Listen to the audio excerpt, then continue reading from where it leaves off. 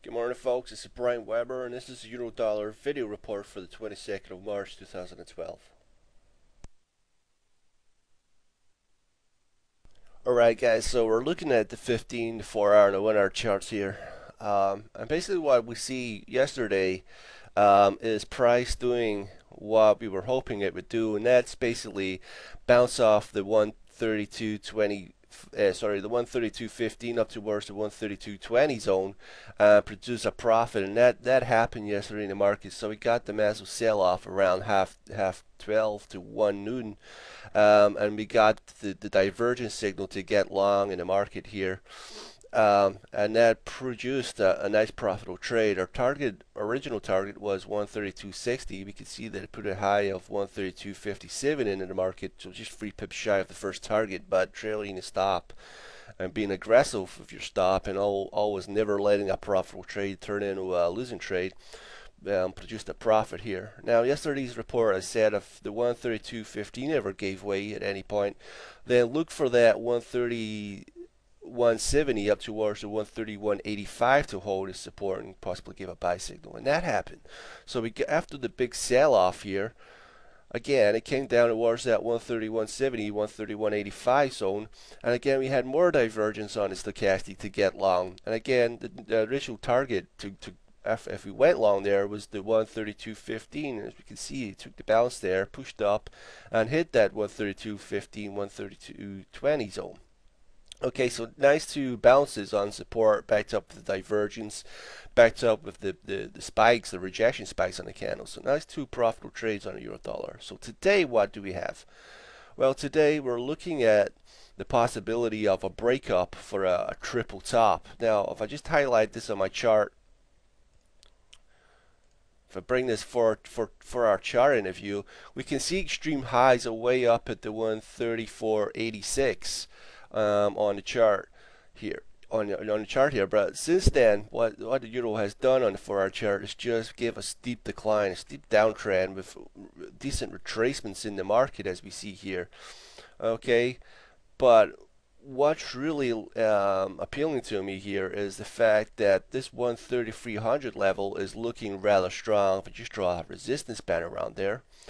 Basically what we see here is a top out in the market before a massive sell-off um, when price recovers and comes back up again to back within that vicinity, it sells off again, but it doesn't quite make it all the way up there that time. On third attempt, or the second attempt, should I say, we do get another top out around that 13300 level right here. Okay, so if we see prices moving up here again, this could form the basis for a triple top. And again, we could see another steep decline in the market here. If we do see another another top up here and we're not that far away from it because we're currently trading around the 132.36 and since that decline down the 131.80 level from yesterday basically prices have just been putting in a series of higher lows and higher highs as we see here. Okay so we got the lower low the lower high. Then we got the, the higher low followed by the higher high the higher lows and once again price is putting in the higher lows uh, sorry the higher highs and the higher lows. Alright, so we got that right there. All the way up to this resistance point at 132.50. And this is going to be our line in the sand today to go long or look for neutral markets. Um, for us to go short, we would really have to break that 131.80. When I say go short, I mean a strong short, a full position. 130, 180. But overall, what I'll be looking for today is the possibility of prices moving up above that 132.50 zone and moving up 50 or so pips towards that um, 13300 level to form the basis of a triple top up here. Okay, so I just marked that off the chart. Here's the, here's the cluster zone of resistance points from 130 to 85 up to the 13300 level. Okay, so if we do get a break above this 132.50 level here, which we saw attempts at. We saw the spike above here, and um, earlier this morning we saw another spike. So we're going to call this resistance point about 132 up to 132.50 up to about 132.55. Okay, so if we really see a break, we'll actually move that up to about 132.60 actually. Okay, so if we actually see a break above that 132.60 zone, then I'm going to be looking for buy signals to get long and trade this up towards this cluster zone. And again, this should form the basis of a triple top up here at the 13300 level. All right. And from there, I'm going to reevaluate. I'm going to cover any longs that I do get at that level. I'm going to reevaluate the charts and decide if I should be getting short based on the triple top or is the price really going to bust through that level and put in a higher high okay because both are, are actually possible.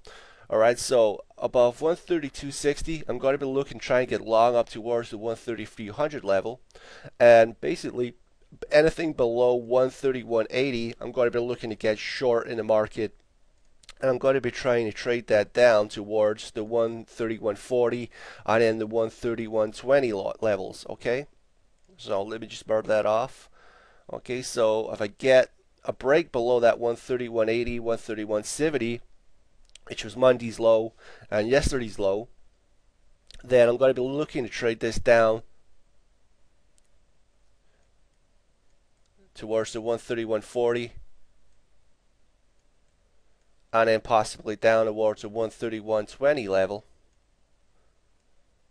Alright, and then from there, reevaluate the charts because you may get a signal down here to take this back up towards the 130, 170, 80. Okay, but that's only in a break of the 130, 170 zone. It has to break that zone to target the 130, 140, 130, 120. Um, and for the long side, we're looking for a break above the 132.60 level and from there what we'll do is target the 13300 level and possibly the 13320 level. But when we get to that 13300 level if we do get to that 13300 level reevaluate the chart and decide if it's time to get short in the market based on a triple top on a 4 hour chart here. Okay? So have a good one guys